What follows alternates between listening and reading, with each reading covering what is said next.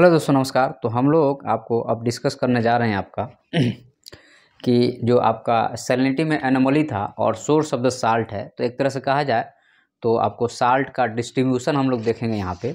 और दूसरा जो हमारा टॉपिक रहेगा आपका कि आपको कितने टाइप्स ऑफ़ द साल्ट होते हैं और फिर जो है सो सोर्स ऑफ़ द साल्ट क्या है, ये दो टॉपिक रहेगा। तो पहले हम लोग थोड़ा सा यहाँ पे डिस्कस करेंगे आपका कि टाइप्स ऑफ़ द साल्ट का और फिर जो है सो हम लोग या पहले हम लोग सोर्स डिस्कस कर लेते हैं और फिर जो है सो टाइप डिस्कस करेंगे। तो चलिए शुरुआत करते हैं। सबसे पहले हम बात करेंगे आपका सोर्स ऑफ़ द साल्ट कि साल्ट के कौन कौन से सोर्स हैं, ठीक है?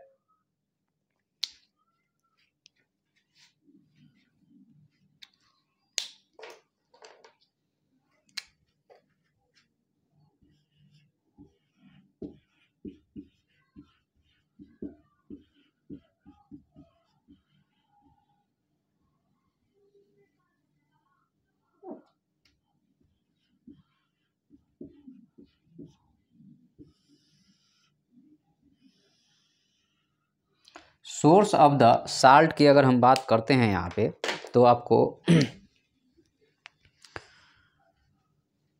क्या क्या है? एक तो आपका यहाँ पे रिवर है, ठीक है, क्योंकि वह रिवर से फ्लो कर रही है लैंड से फ्लो कर रही है तो वह जो है साल्ट को लेके जाएगी और समुद्र में डिपॉजिट करेगी। उसके बाद में साइक्लोन है, साइक्लोन चूँकि यह तूफ़ानी हवा है तो यह भी ले जाकर डिपॉजिट करता है।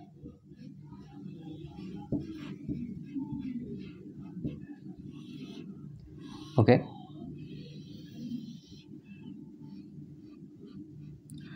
तो आपको जो है सो आपका सिल्वर हो गया साइक्लोन हो गया, उसके बाद में आपका रेन हो गया।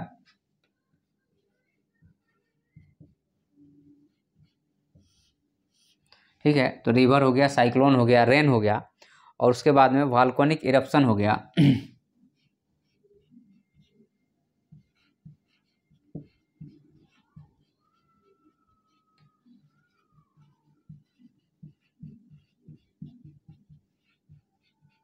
तो वाल्कोनिक इरप्शन हो गया।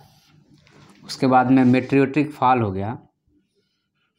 या एक तरह से कहा जाए तो एटमॉस्फेरिक साल्ट हो गया।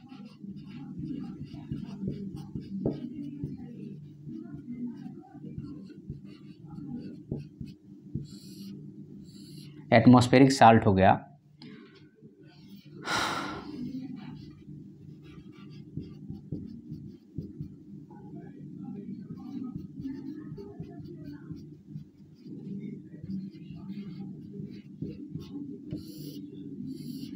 ठीक है? तो ये कुछ major source of the salt है, ठीक है?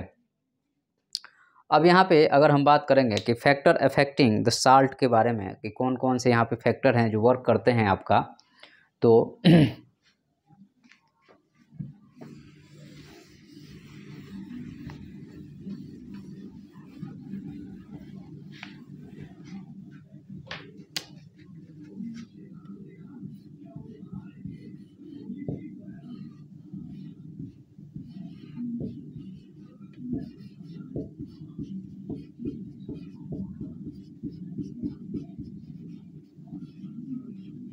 फैक्टर अफेक्टिंग जो है आपका सेलिनिटी की अगर हम बात करते हैं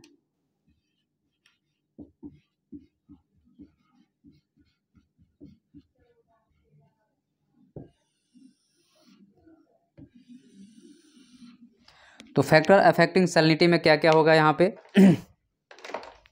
तो देखो आप मेन जो पॉइंट है, अगर हम यहाँ पे आपको याद दिलाएँ तो यहाँ पे मेन पॉइंट क्या है?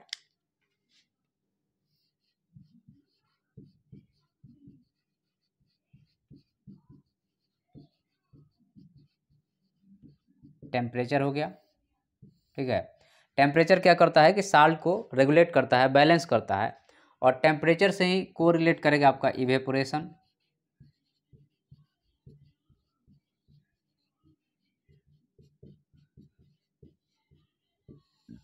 ओके तो टेम्परेचर हो गया टेम्परेचर से को रिलेट कर रहा है यहाँ पे इवेपोरेशन हो गया। उसके बाद में आपको दूसरा चीज़ यहाँ पे ये होती है कि जो रिवर है आपका तो मान लीजिए कि आपका ये कोई आपको वाटर बॉडी है और यहाँ से आपका यह जो है सो आपको यहाँ पे वाटर फ्लो करके आ रहा है तो यहाँ पे चूँकि सेलिनिटी कम होगा, क्यों कम होगा? क्योंकि वहाँ पे क्या होगा? वहाँ पे आपको ये जो है सो फ्रेश वाटर आके मिल रहा है तो यहाँ पे सेलिनिटी कम होगा और इधर सेलिनिटी ज़्यादा होगा। तो रिवर माउथ के पास में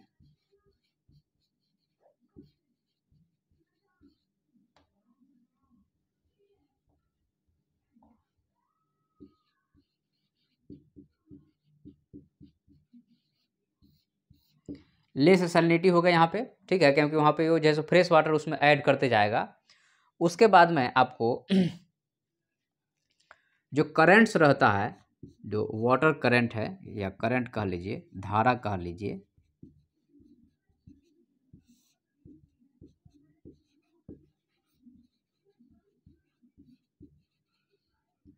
मेंटेन करता है आपका बैलेंस ऑफ़ साल्ट तो यहाँ पे आपको जो करंट रहता है, वो साल्ट के बैलेंस कर देता है। ठीक है? तो अब हम लोग थोड़ा सा यहाँ पे क्या बात करेंगे आपका? तो अब हम लोग बात करेंगे आपका यहाँ पे। साल्ट के डिस्ट्रीब्यूशन की थोड़ा बात कर लेते हैं और साथ के डिस्ट्रीब्यूशन की बात करने के बाद में फिर हम लोग आगे बढ़ेंगे। तो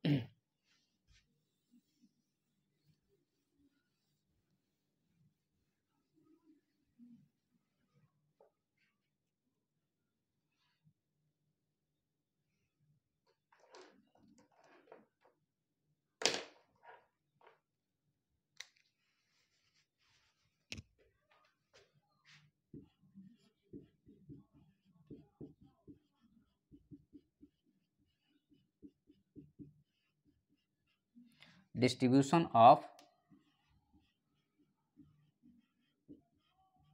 साल्ट। तो ओशन बॉडी में साल्ट का डिस्ट्रीब्यूशन दो तरह से होगा। एक वर्टिकल होगा, दूसरा हॉरिजेंटल होगा।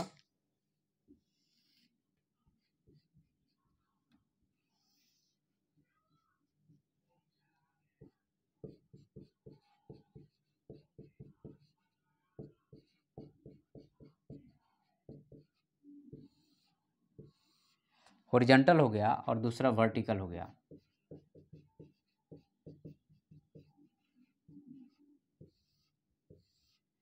ठीक है?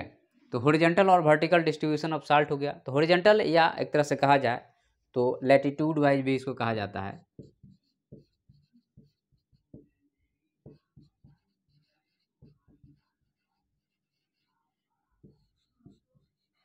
इसको हम लोग लैटिट्यूडनल डिस्ट्रीब्यूशन भी बोलते हैं हम लोग। ठीक है? तो यहाँ पे एक तरह से कहा जाए डिक्रीज होता है फ्रॉम इक्वेटर से पोल ठीक है? तो यहाँ पे यह जो है सो आपको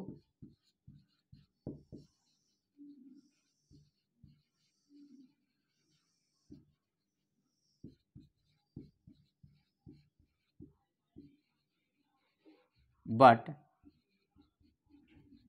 except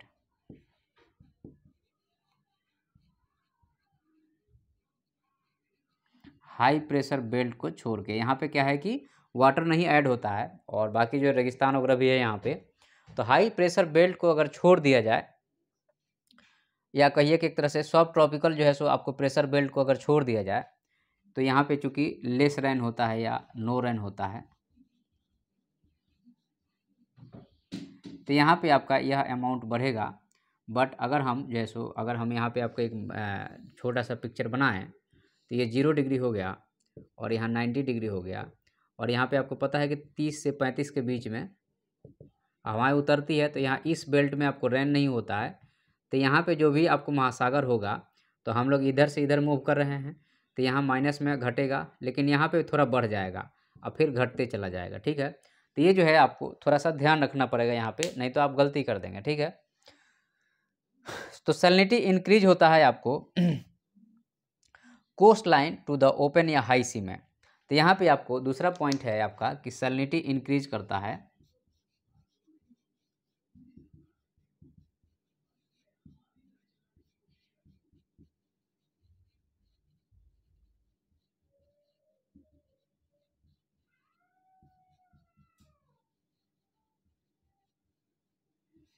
तो कोस्ट लाइन से अगर आप अंदर जाएँगे तो आपको सैलिनिटी बढ़ा हुआ मिलेगा। क्यों बढ़ा हुआ मिलेगा भाई? मान लो कि आपका या कोई वाटर बॉडी है तो यहाँ से रिवर आ रही है, यहाँ से रिवर आ रही है, यहाँ से रिवर आ रही है, यहाँ से रिवर आ रही है। तो इस लेयर में आपको क्या होगा? वाटर ऐड होगा तो सैलिनिटी निगेटिव या माइनस में जाएगा या कम होगा। माइनस में मतलब कम होगा। तो मान लो कि यहाँ पे आपका थर्टी है तो यहाँ पे बीच में चूँकि आपको जो है सो ऐड नहीं हो रहा तो बीच में इसका अमाउंट बढ़ जाएगा और किनारे पर इसका अमाउंट क्या रहेगा? कम रहेगा। इस चीज़ को हमें हमेशा ध्यान रखना है, नहीं तो मामला हो जाएगा गड़बड़। तो अब हम लोग यहाँ पे बात करेंगे आपका वर्टिकल डिस्ट्रीब्यूशन ऑफ़ सेलिनिटी की बात करेंगे यहाँ पे। चलिए शुरुआत करते हैं।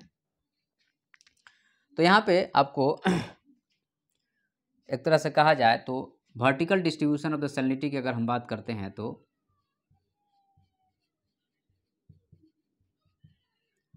अगर आप सरफेस टू बॉटम अगर मूव करेंगे तो क्या होगा? सेलिनिटी क्या हो जाएगा आपका? ये जब हम ऊपर साइन देते हैं तो सेलिनिटी बढ़ रहा है, और जब नीचे साइन देगा तो सेलिनिटी घटेगा। तो हम लोग जब भी आपका सी लेवल से अगर बॉटम की तरफ़ जाएँगे तो आपका इंक्रीज होगा, ठीक है? क्यों इंक्रीज होगा? क्योंकि डेंसिटी बढ़ेगा, और साथ में जैसो यहाँ पे वाटर नहीं ऐड हो रहा है।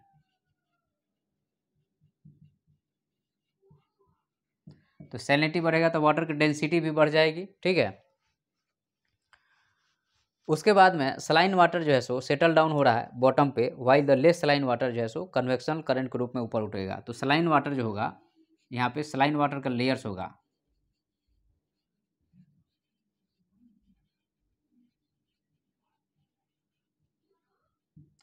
तो layers of the saline water होगा तो आपका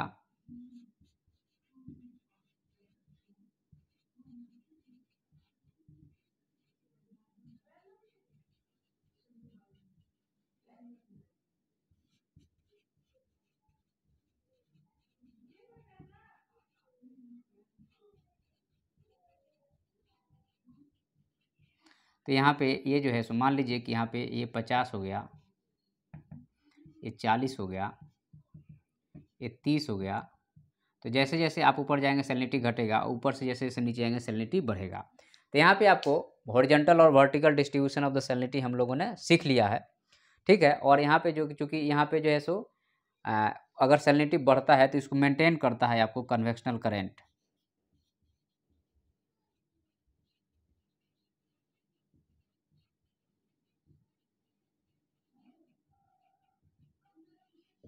तो यहाँ पे कन्वेक्शनल करंट जो रहता है, वह क्या करता है? सेलिनिटी को मेंटेन करता है ओके तो ये आपका जो है, ये डिस्ट्रीब्यूशन ऑफ़ द सेलिनिटी हो गया।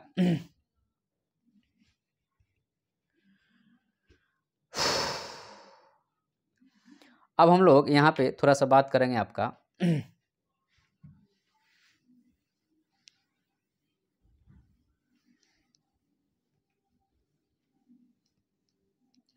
भाई, अगर आप लोगों को यह वीडियो पसंद आता है तो हम लोग बोलना भूल जाते हैं, मेहनत बहुत लगता है। तो कृपया करके आप लोग सब्सक्राइब, लाइक, कमेंट, शेयर ज़रूर कर दीजिएगा। यह एक टीचर के लिए रिवार्ड होता है। तो ये इसके बोलना नहीं चाहिए, ये तो आत्मीयता होनी चाहिए आदमी की कोई इतना मेहनत कर रहा है तो आप लोगों को ऐसा करना चाहिए। चलिए हम लोग थोड़ा देखते हैं साइक्लोन के बारे में, जो सैलिटी में क्या इम्पेक्ट डाल रहा है।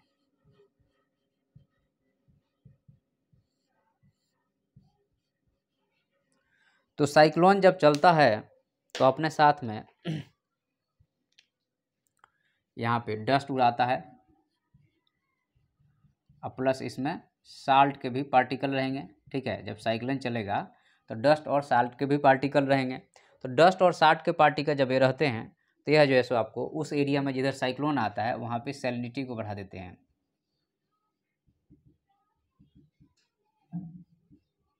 ओके? okay? तो जिस एरिया में साइक्लोन आएगा, वहाँ पे सेलिनिटी क्या होगा? बढ़ जाएगा। तो साइक्लोन के बाद में आपका बालकोनिक जो आपको एयरप्शन होता है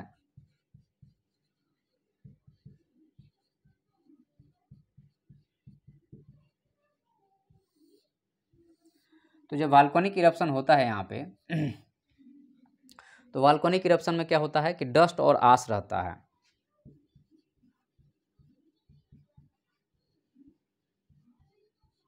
तो जो डस्ट और आस रहता है, यह भी उस एरिया में अगर कोई आपका एक तरह से कहा जाए तो ओसन होगा तो यहाँ पे यह सेलिनिटी को एडिशन करेगा, ठीक है?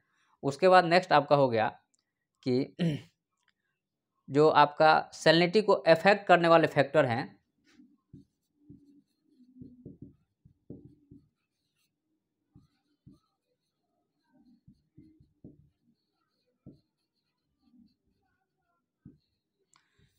तो इसमें एक तो होगा आपका कि आपका रिवर वाटर हो गया।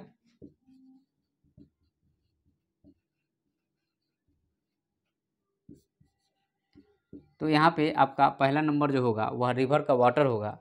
दूसरा नंबर जो होगा, वह जो है सो इवेपोरेशन होगा। ठीक है? तो रिवर वाटर हो गया इवेपोरेशन हो गया। उसके बाद में आपका जो तीसरा नंबर होगा यहाँ पे सेलिनिटी खुद होगा। क्योंकि इसके कारण जो है सो करंट का फ्लो शुरू हो जाता है। तो ये हमारा हो गया सेलिनिटी से रिलेटेड जो बेसिक चीज़ था। अब हम लोग यहाँ पे थोड़ा सा शुरू करेंगे आपका। तो यह शुरू करेंगे थोड़ा सा जो आपको सेलिनिटी का जो डिस्ट्रीब्यूशन है और एक तरह से कहा जाता है कि एनोमली ऑफ़ द सेलिनिटी होता है, उसके बारे में थोड़ा सा बात करेंगे, ठीक है? तो चलिए हम लोग शुरू कर रहे हैं यहाँ पे एनामोली ऑफ़ द सेलिनिटी तो